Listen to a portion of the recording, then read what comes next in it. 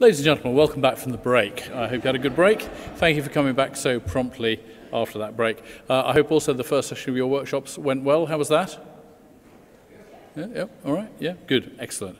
Right, um, we have now two presentations in the area of open access models and impacts. And as I said before, we've reversed the, um, the order of these two kind of for technical reasons because uh, uh, Solomon is still in Nairobi, so we're going to do this through uh, the wonders of the internet. Um, so um, again, I'm not going to give you a big intro. of The people, you can read their bios in the program. But just to say that Solomon's going to be talking about um, Research for Life and OA. He's uh, quite an expert on kind of electronic content in Africa. Um, and then Tasha's going to talk about um, the work that she's been doing on uh, open access models within a society publisher. So I'm hoping that if we now switch over to Solomon, and he's going to know that we're ready to go, and he's just having a glass of water, he may know that we're ready to go. Solomon, are you there? No, he's run off.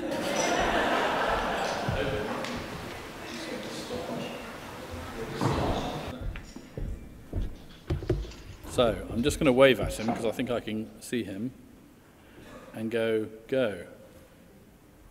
Up. There we go. So I'm hoping he's going to start, ready to start. Yes, good morning. Uh, this uh, electronic presentation is uh, on the impact of free or low-cost access to e-resources on research in Africa, the case of Research for Life. Uh, I'm a chemist and not uh, a librarian, so the presentation will be guided by the impact of free uh, or low-cost access to scientific journal has on my research as a scientist in uh, sub-Saharan Africa and by extension to others uh, in uh, sub-Saharan Africa. The presentation will narrow on uh, research for life as it will uh, adequately represent both subscription and, uh, and open-based access to library resources. Um, the presentation will start by providing historical background information on libraries, universities, and research in Africa so that you can see why the continent needed Research for Life program in the first place and will continue to depend on these in the near future to conduct meaningful research. Uh, in uh, Africa, just like the rest of the world, has been a center of learning and research to highlight uh, some of this. Let's look at four examples. The first one is Timbuktu in Mali. A university in Timbuktu, uh, established in the 12th century, had 700,000 collections of manuscripts and books uh, in the areas of uh, Islamic studies, geography, mathematics, and medicine. The other one, which all of us are aware of, is the Library of Alexandria in Egypt.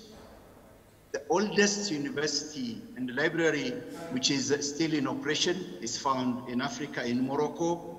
Similar centers of excellence existed elsewhere in, in, in Africa. One such example is Ethiopia, which in about 650 AD uh, illustrated the oldest and most complete Bible, the Garima uh, Gospels. Um, coming back uh, to the 19th century, uh, uh, these are the, the ones you see shaded are uh, countries in sub-Saharan Africa, with the exception of uh, uh, the discussion I'm going to have, it, will be with the exception of South Africa. By 1944, which is toward the end of the Second World War, many African countries were still under colonialism by then, there were only six universities in sub-Saharan Africa, excluding uh, South Africa. Six universities for 49 countries in Africa. So majority of the universities, the way we know them in Africa, were established after independence. These are some of the, the universities that were established after independence. The initial mandate of these universities was training of the professional that are required to run the independent state apparatus of the newly uh, formed government. That is, uh, training of uh, uh civil servants, teachers, medical officers, and law enforcement officers. And almost there was no much research that was done during that period. It is only after these initial needs were made that uh, research was included as part of the mandate of universities in Africa. So I'll give you uh, in the next period, the period from 1980 to 87, the period for which I have uh, some data. Uh, as you are aware, immediately after in, independence, there was a lot of enthusiasm in Africa. Uh, many Af uh, Africans were believing our future is in, in our hand. We can take uh, it to, to whatever level we need. And the economies of many African countries were doing very well. And uh, there was uh, investment that was put on universities, laboratories were built, and uh, universities were subscribing to journals. And the result of that was immediate. In the, between the period 1980 to 87, there was uh, a, a growth in the publication output of scientists from sub-Saharan Africa. So much so in 1987, the output from sub-Saharan scientists from sub-Saharan Africa reached 1%. This milestone was achieved in 1987. You, you might have come across some literature. Some people still think in uh, even as uh, in even in 2020, so many will think think that uh, percent the scientific output of Africa is only one percent. So this milestone was achieved in 1987, but this was not sustained. It was followed by a period of decline, the 80s and 90s, a period of lost opportunity for research, uh, periods of economic decline, and most of the countries in Africa depended on donor funding, and uh, and he who pays uh, the uh, dictates the outcome. So because of that, there was structure uh, adjustment programs that were imposed by the World Bank and IMF, and this resulted in reduced public expenditure. And the most important casualty of this were universities. There was a reduction of funding for university in favor of basic education. Many of the universities in sub-Saharan Africa were thrown in, in financial crisis. Uh, the, the university were forced to introduce austerity measures to make matters worse. Without commensurate increase in funding, they were forced to increase enrollment, student enrollment. So funding for laboratories and libraries were reduced. As a result, conducting meaningful research was very, very difficult journal subscription was stopped. For example, at University of Nairobi in Kenya, journal subscri subscription was stopped in 1989. This, I believe, the case in many other sub-Saharan African countries. The consequence of this has been, as a result of this, sub-Saharan Africa's share of world scientific papers declined from what was what it was uh, uh, 1% that it was in 1987 to 0.7 in 1996. Indeed, a period of lost opportunity. There was so much in the area of research that has happened during the 1980s and the 1990s all over the world. So, um, so what has been the challenges of uh, doing research in Africa in, in pre-research for life in open access, open access era? I'll just give you my personal journey. I did my graduate studies MSc as well as PhD at University of Nairobi, MSc in 97, PhD in 2004. Like many other African uh, uh, young scientists who's uh, seen the challenges the continent uh, facing, I was really eager to participate in uh, research but uh, insufficient research, as you're aware, is a hurdle to growth and development. That's why many of us wanted to be involved in research so that we can uh, conduct research to solve local challenges and in the process also contribute to global knowledge. knowledge. But this requires standing on the shoulders of giants.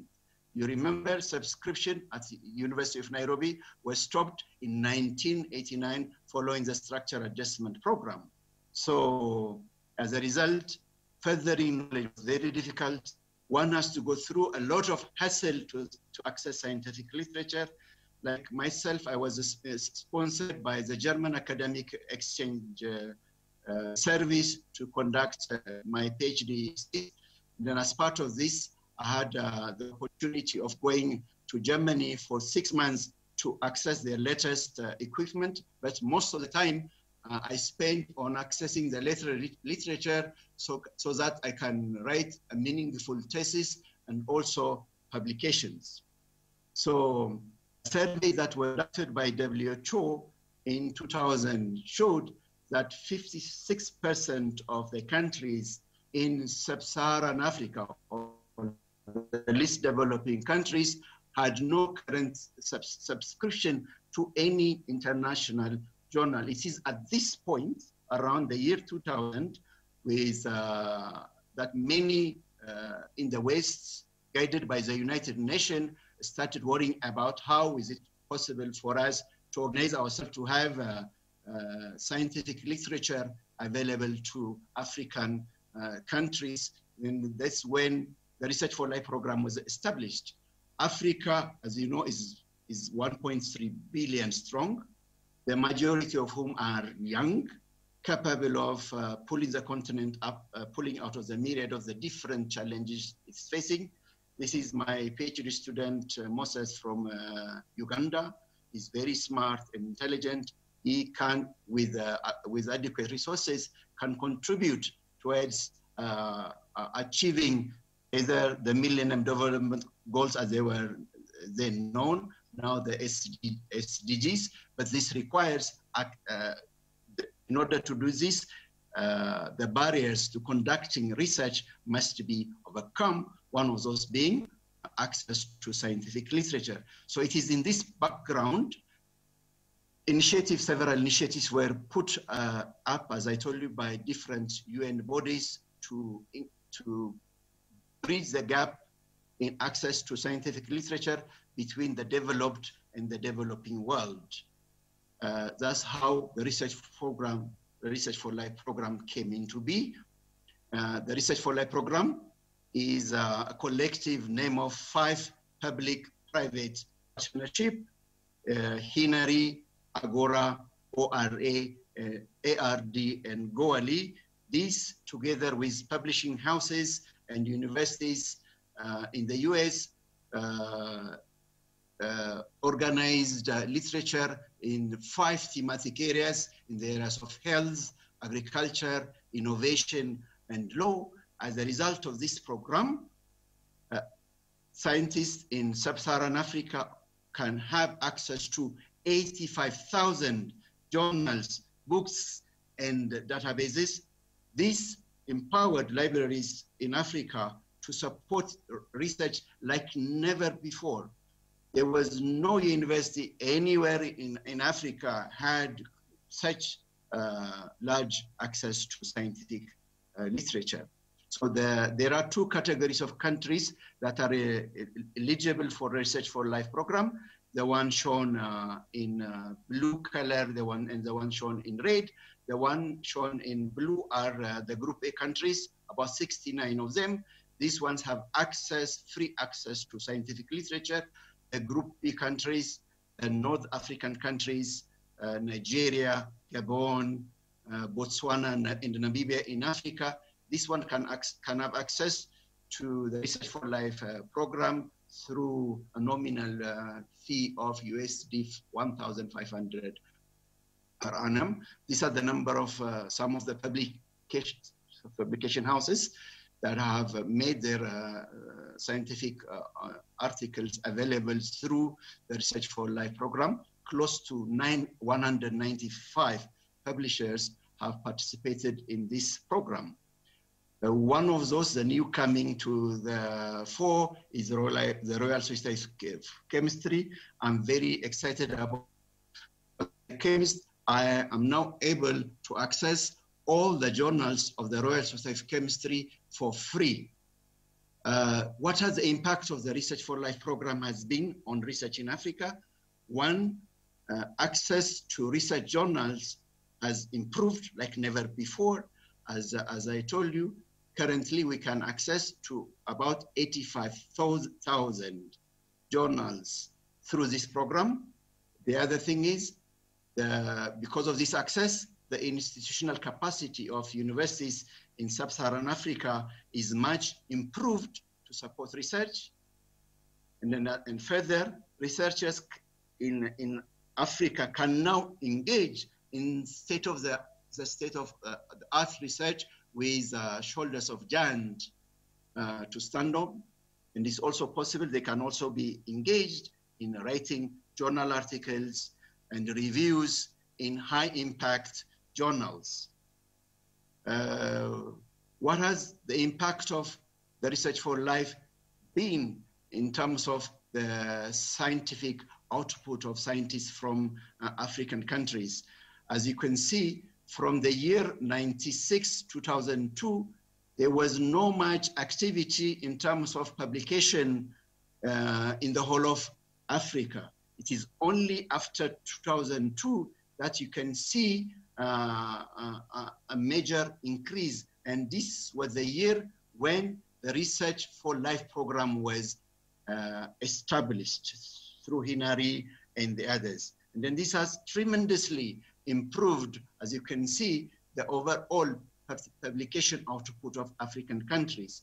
Even in terms of the percentage share of uh, uh, African uh, publication from African scientists, it has increased from about 1% that was in 1996 to um, to 2.2% in uh, 20, 2012, more than a percentage increase.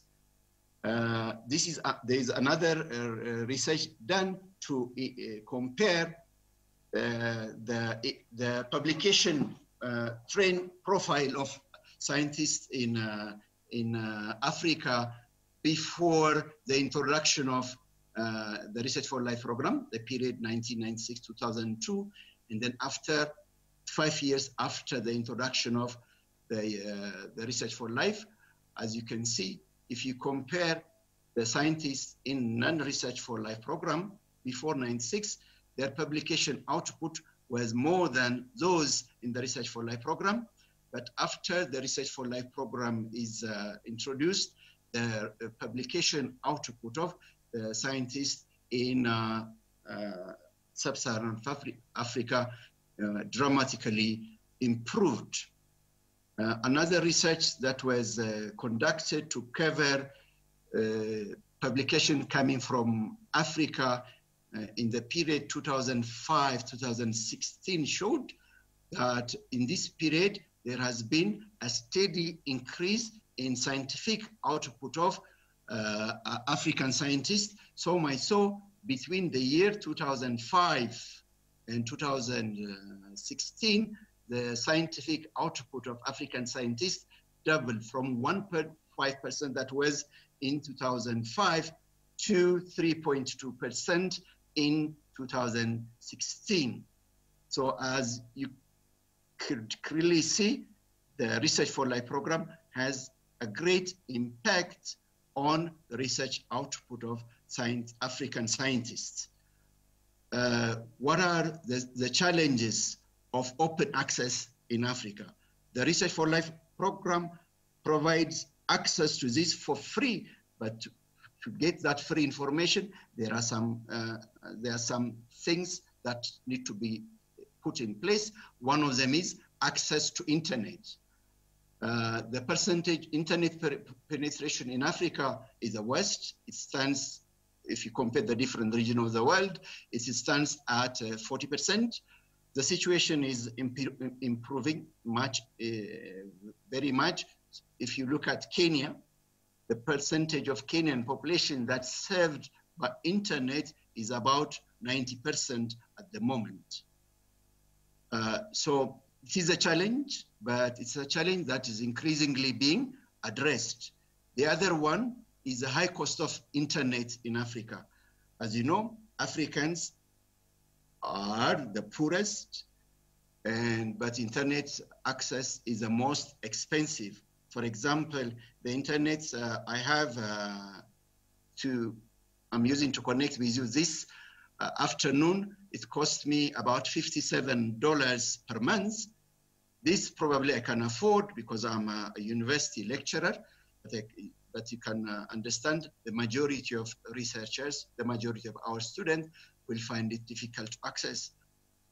Even if we overcome access uh, and also cost, there's still another challenge. The other challenge is lack of awareness.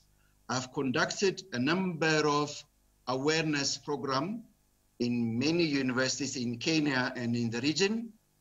Uh, my discussion with uh, the academics as well as the postgraduate students is that many of them are not aware of the existence of the Research for Life program. Even myself, I only came to learn about the Research for Life program after I have completed my PhD in 2004. Uh, even in those countries where the information is available, the usage pattern of uh, the Research for Life has not been consistent. Here you see an orange and blue bar. First of all, there is no much difference between the two bars. The, the blue represents the, the period 2018-19. The orange represents the period 2017 to 18 in terms of uh, how many times this Research for Life program is accessed. And then you see in some countries like Kenya, Nigeria, the, the, they had accessed to the Research for Life program the previous year compared to this. So there has been a decline. So there is need for sustained uh, awareness uh, to make sure that uh, the researchers in, uh, in uh, sub-Saharan Africa are aware of the program and can continue to benefit from it. So uh, how can we improve um, the reach of the Research for Life program? I have some suggestions to make. One of them uh, is to persuade more partners to join the program. By the time I started using uh, the program, I used to access Elsevier publications, but from Kenya at the moment, I, I, we do not have access to this.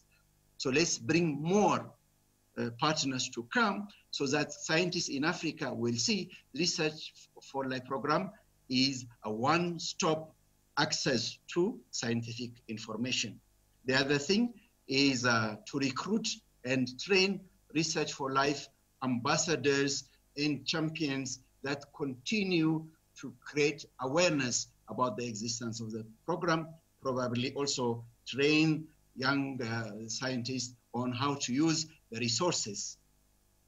Of course, it's very important to have sustained awareness uh, campaign. In my belief, some of the spikes we, we saw in certain years and decline in the other years is, is because most of the time uh, it is graduate students who access such kind of information. And probably there must have been some awareness campaign that was conducted during uh, that time. And then you see a spike the moment those students complete their studies and um, you will see a decline. So uh, it is very important that we reach out to graduate students in all the universities through the graduate schools or the Board of Postgraduate Studies whichever, whatever, however they are known. Um, it is possible to approach the graduate school and through the graduate school, we should conduct annual awareness program by using the Research for Life ambassadors and champions. The other thing we need to do is conduct discipline specific uh, uh, training and aware, awareness piggybacking on uh, scientific events. It's also, it's, it will be good if you have, uh, if you could conduct subject specific, for example, in the area of physics. What are resource, what resources are available in the area of physics, in the area of mathematics, in the area of uh, medicine, so that the, this scientist can see and also can be exhaustively um, uh, trained on those specific dis disciplines. So be before I finish, let me share with you about my own campaign uh, on to make sure uh, scientists in Africa, in sub-Saharan Africa, have awareness about uh, e-library resources that are available through the Research for Life program. So I've been conducting uh, seminars on e-library resources, as well as on citation and reference management tool using Zotero as an example. I was uh, exposed to the Research for Life program through a proposal writing workshop I attended uh, organized by the German Academic Exchange. That was the first time I got exposed to the Research for Life program. This may be three, four years after I finished my PhD. I got very much interested. I studied and learned more about this. And then the DAAD engaged me in conducting uh, awareness and training program. I did uh, training in Rwanda, Sudan, and Tanzania. And then later on, through the Royal Society of Chemistry and the Pan-African Chemistry, I've conducted several uh, awareness or training in Nairobi at University of Nairobi, Kisii University, Kabianga University, Maseno University. These are uh, universities at different corners of, uh, of Kenya. And I have uh, done several repeat uh, seminars at University of Nairobi. Just on the 14th of uh, February, on Valentine's Day, uh, I, I, held a seminar, a similar seminar at University of Nairobi. And in, in the recent past, I will have on the 5th of March, there will, I will conduct a seminar at Taita Taveta University towards the coastal region of, region of Kenya, and another one on 8th May at Bondo University towards uh, Lake Victoria. These are supported by the Royal Society of Chemistry and the Pan-African Chemistry Network. Uh, I would uh, like to finish my presentation by acknowledging the German Academic uh, Exchange Service that in the first place exposed me to the Research for Life program, the Royal Society of Chemistry, the Pan-African Chemistry Network, the organizers of this conference, the Research to Reader, my university, and the Royal Society of Chemistry, and you who've been patient enough despite the challenges, been keen to follow my presentation. Thank you very much.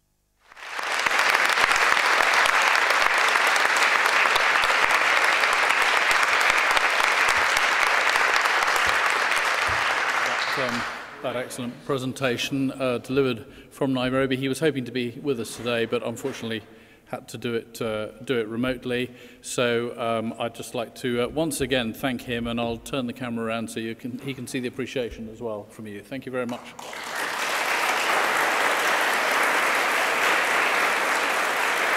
Yeah, thank you.